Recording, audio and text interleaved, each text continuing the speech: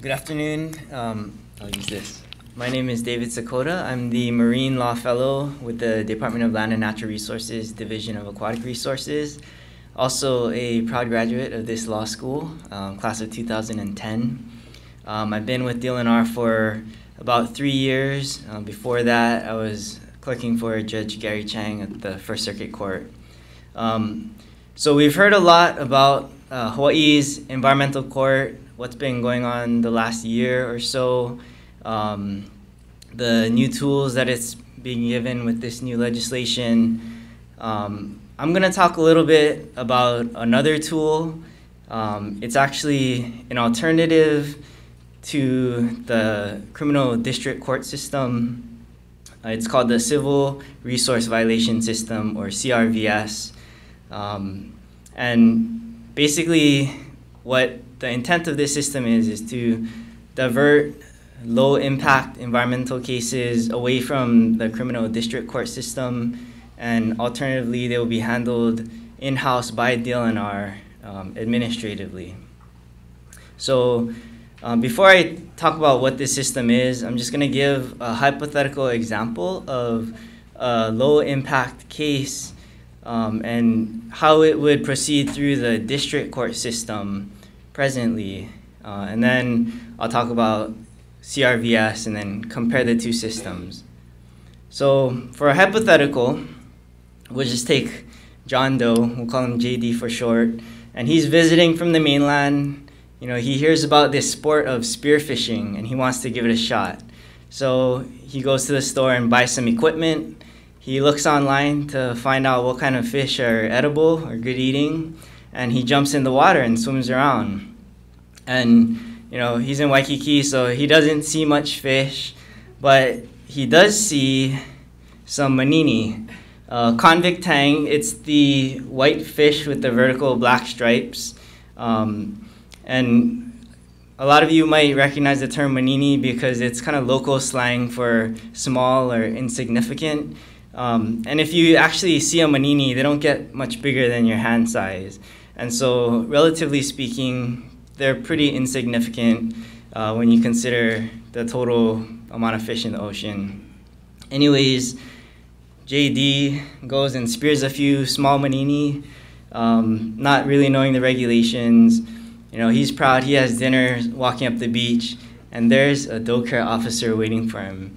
And the DOCARE officer notices that he has some regulated species because manini, under state law, have a minimum size limit of five inches. And so the DOCARE officer proceeds to measure his catch and determines that all of his fish are just shy of five inches. So the officer writes him a ticket, hands it to JD, and says, You have to show up for this court date. So fast forward, JD has to buy a plane ticket back to Hawaii, show up for his court date, and you know, he's hoping to just deal with it, um, pay the fine, get it over with. But when he shows up to court, the judge tells him that it's a petty misdemeanor and uh, it's also $100 mandatory for a first offense.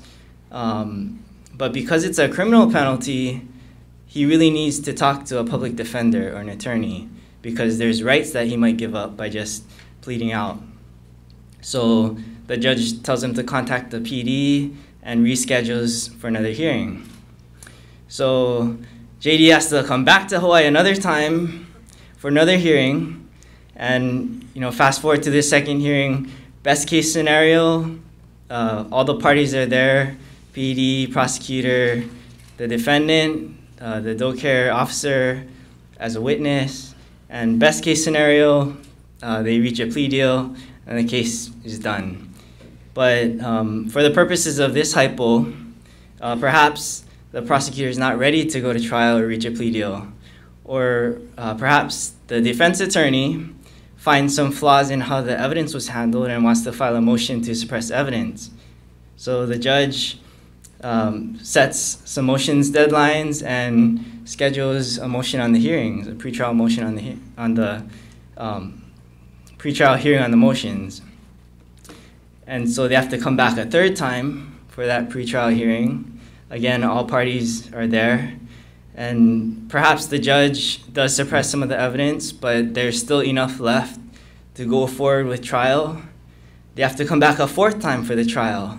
And at this point, you know, it doesn't really matter if they go to trial or if, you know, the case settles or if he pleads out at that point.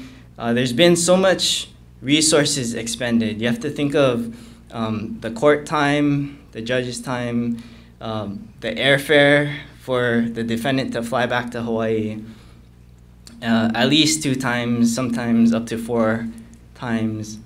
And the officer, the DOCARE officer who's the witness, who wrote him the ticket, has to be there in court ready to go to trial each time. So that's pulling him out of the field. He's not doing uh, enforcement, he's sitting in court. Um, so when you consider all of these things, um, is it worth it for a Manini violation? So what is the alternative? Um, and that's where CRVS comes into play. And I'll quickly go through it. Um, instead of a criminal citation, the officer issues a civil citation.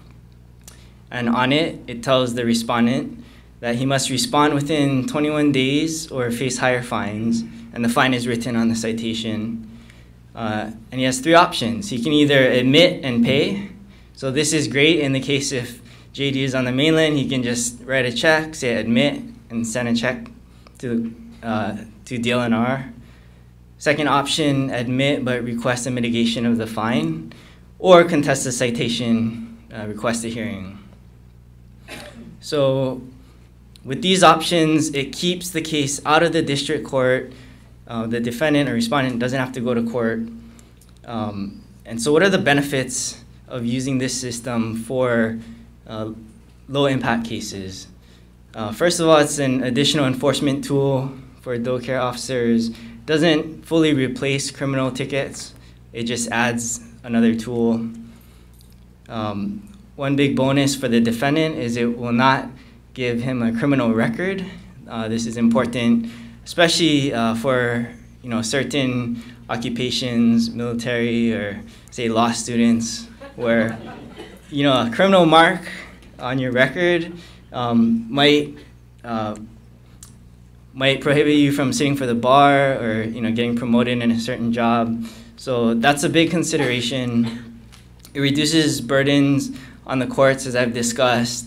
Um, there's a lower evidentiary burden of proof under um, the civil side, um, preponderance of the evidence versus beyond a reasonable doubt. Monetary fines collected by the agency stay within DLNR and can be funneled back towards enforcement rather than in district court, they go to the general fund. And finally, administrative fines will be more closely tied to the value of the resource, leading to more consistent imposition of penalties.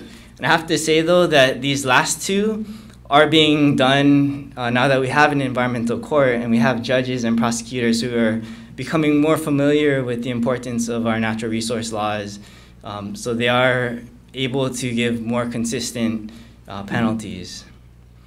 Um, I think that's all that I have to say. Um, well, sorry, one more thing about uh, the implementation of it. I know I'm past my time, but um, there's a lot of considerations that DLNR has to take into account in implementing CRVS because yes, we are taking a burden off of the court, but um, we'll be putting that burden on the administration. So uh, we'll have to develop the civil citation forms. Uh, we'll have to train officers in how to use them. We may have to hire new staff, such as hearings officers. Um, and so I've been working with John Foster, the DOCARE Fellow, um, to possibly pilot the program um, for um, maybe one area or for a period of time just to see what the administrative burden looks like. And we hope to roll it out, uh, you know, maybe within the next year or so. Um, but that's the status of it now.